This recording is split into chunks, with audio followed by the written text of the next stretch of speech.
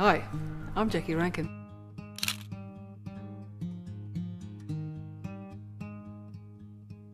I'm a landscape photographer. I've been a landscape photographer for maybe about 10 years, but my full experience covers about 30. I now live in Queenstown with my husband and fellow EOS master, Mike Langford. We run Queenstown Centre for Creative Photography, which means uh, we run workshops and photo safaris, so we teach as well as do commercial work.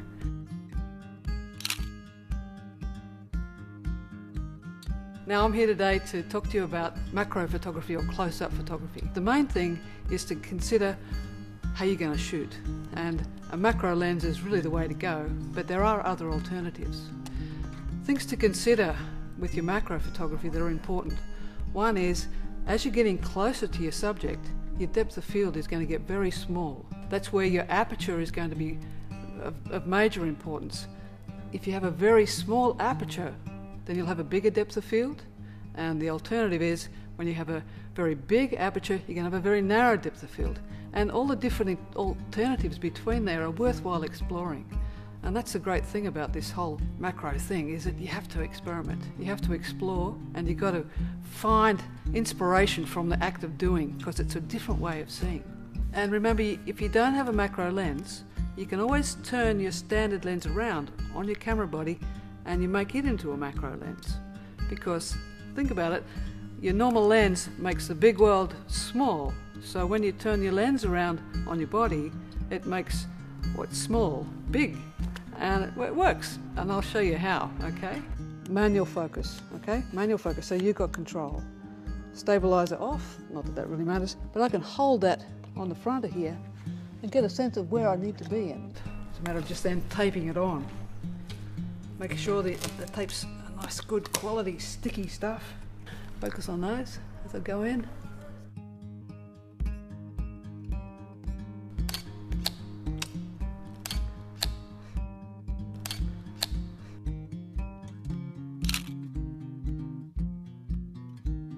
This brief is about macro or close-up photography with an eyedropper.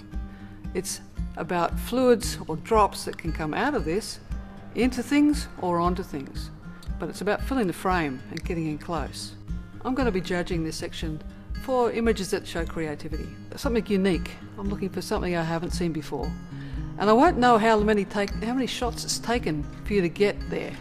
The main thing is that the image has to be strong. This is a photographic competition and I want to make sure that I'm judging photographs. And that's called camera craft, so I want to be able to see, know that it's come from the, the skill that you've got with your camera. Ideas come from magazines, they come from uh, maybe looking at the art gallery, looking at the Impressionists, find something that excites you and then go for it. If your subject is moving, you're going to need a faster shutter speed. I suggest though you keep your subject still. Then your problem is maybe your camera's going to move. So use a tripod to minimize your camera shake or alternatively or uh, in amongst there you can actually change your ISO which is the sensitivity of the sensor to light. The higher you make your ISO the faster your shutter speed can be. Another way to minimize camera shake is to use a cable release. Click. The cable release will stop you pressing on the camera and creating a little bit of blur. If you don't have a cable release, don't worry, because you can use your in your drive mode, you can change it to two second timer or 10 second timer, and then that will allow you just to, by the time you've clicked, the camera will settle down and it will make, make the exposure after two seconds. So that's a good way to go.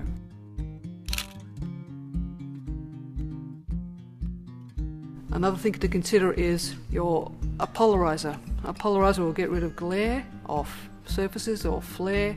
Uh, it allows things to you to see through uh, shine. So you might be using a piece of glass or something to put the drops on. If you're getting problems with shine, a circular polarizer is going to be very handy.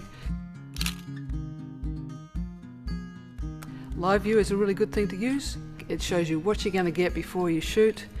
Your hands are off the camera. You can press the depth of field preview button and that will allow you to see that aperture change. As you press your finger on this button and hold it down, the camera will then close down the aperture or open up to whatever you're going to shoot at and you're able to see how much is going to stay sharp before you make the picture. I just encourage you to experiment, have fun, remember to build up your ideas one step at a time. If you're playing with inks and uh, drops that might mark the floor, don't do it inside on the carpet. Always put something down because I know I did it myself. And uh, go for it.